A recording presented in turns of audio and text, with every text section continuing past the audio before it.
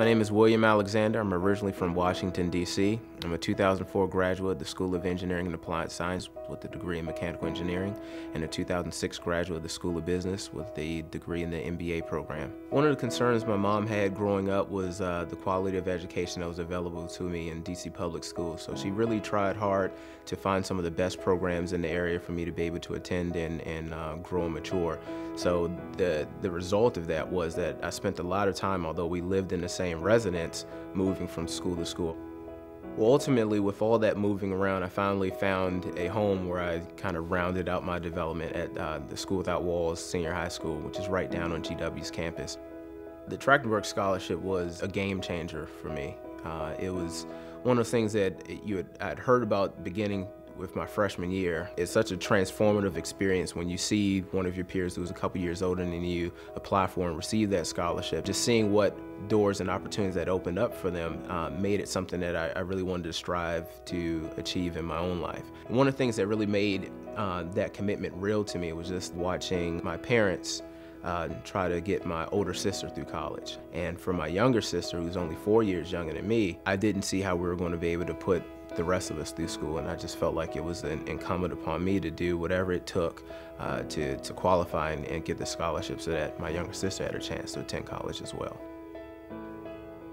One of the things that was probably most instrumental to me in my academic career was when I was able to take uh, MAE 192, which is like our manufacturing machining processes course. A lot of what you study in engineering is physics and uh, calculus based. I didn't get the practical application of it until I got into that course. And so you start to figure out the dollars and cents of what it takes to innovate and create something. So it's like one of those things that, that really stayed with me long after my academic career was done. Just some of the excitement that comes from trying to take an idea and bring it into fruition in the real world.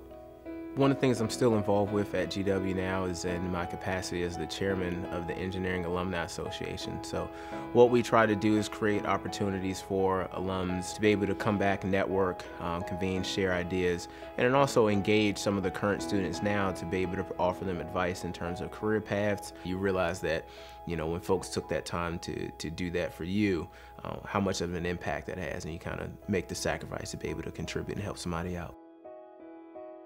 You think you're going to go someplace just to get a degree, get an education, and you end up coming out of it with lifelong friendships and picture books full of memories. Realize, yeah, this was one of the best decisions I made in my life. Maybe number two. Life might be number one. The first day I met Will was at the first day of cheerleading tryouts. I remember standing against the wall just kind of waiting for what the next thing was. And then this um, guy just kind of is walking toward me. My first thought when I saw Jen was like, that's the type of girl that I want to marry. And I knew that the moment she walked in. It was really refreshing that uh, it was a young woman, beautiful, that knew exactly what she wanted out of life and she was going to go after it. And it stuck with me. Well, you always forget to say though, when I did like you at one point in the first year, it was kind of like I liked him, but he didn't like me. And then later he liked me, but I didn't like him. and it took like, what, eight years to get to a mutual liking? Yeah. This is the George Washington University, and what we make is history.